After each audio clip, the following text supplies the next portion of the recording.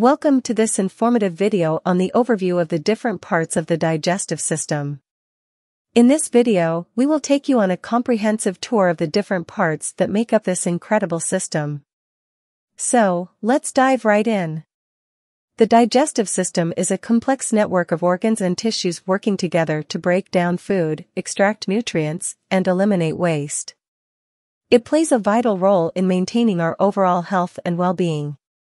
Now, let's explore its various components. Our journey commences in the mouth, where digestion truly begins.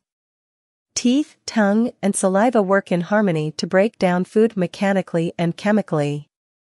The teeth grind food into smaller pieces, while the tongue aids in mixing food with saliva, which contains enzymes that start the digestion of carbohydrates. After the mouth, the chewed food travels down the esophagus, a muscular tube that connects the mouth to the stomach. Its rhythmic contractions, known as peristalsis, propel the food toward the stomach, ensuring a smooth journey without any backflow.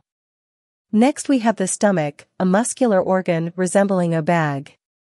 It secretes gastric juices, including hydrochloric acid and enzymes, to break down proteins and kill harmful bacteria. The stomach churns and mixes food, turning it into a semi-liquid mass known as chyme.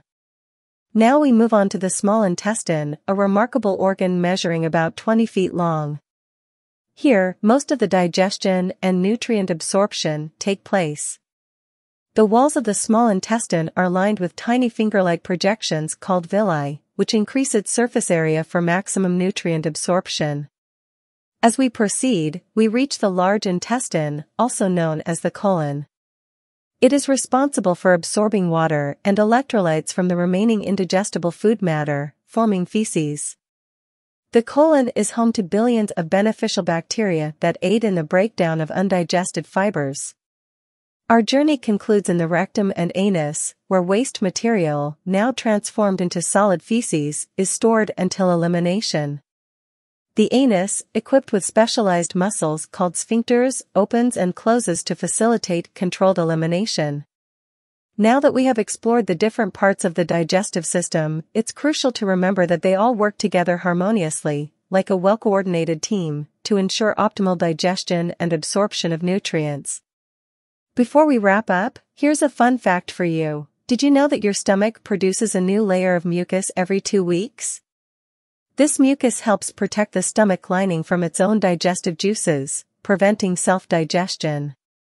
Nature has its way of keeping us in balance. And there you have it, an exciting overview of the different parts of the digestive system.